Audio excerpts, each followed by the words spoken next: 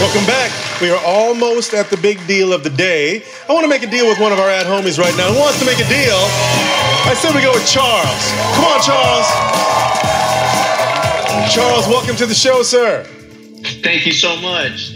Charles, which I part of the country are you in right now? I'm sorry? I'm in Redding, California. Oh, Redding. Okay. And and I cut you off. I'm sorry. You said you take your lunch break? Oh, I take my lunch break between 9 a.m. and 10 a.m. so I can come home and watch your show.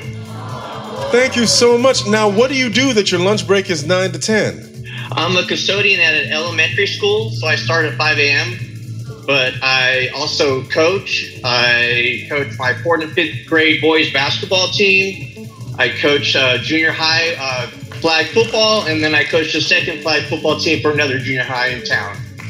Oh, Uh, good two job, and I've been married 22 years. Congratulations on everything, man. Well, Charles, I've Thank got a deal for you right now. Okay, we're gonna keep it old school. This is an old school Jack in the Box. Now, all Jonathan has to do is just boop a doop a doop. He cranks the handle, pop, something will come out. Is it good? Is it bad? We don't know. Or Tiffany has the mini curtain. I'm really afraid of things that pop out, so I'm gonna go with the mini curtain. Okay, so Jonathan, boop a doop a doop. Yeah, do do that. It makes its own noise. I don't have to do the noise. Oh, you do? Yeah. Oh, when I was a kid, we couldn't afford the noise, so I had to make my own. Here we go. Y'all rich. Yeah. It was $2,100, Charles.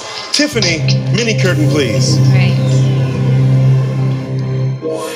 It's a trip to Planet Zonk. This deal's worth nothing.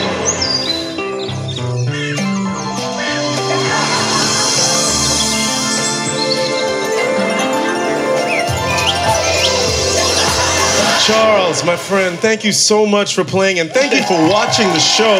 Thanks for taking your lunch break and being part of the Deal family. Give Charles a big round of applause. Thank you. All right, it is now time for the big deal of the day.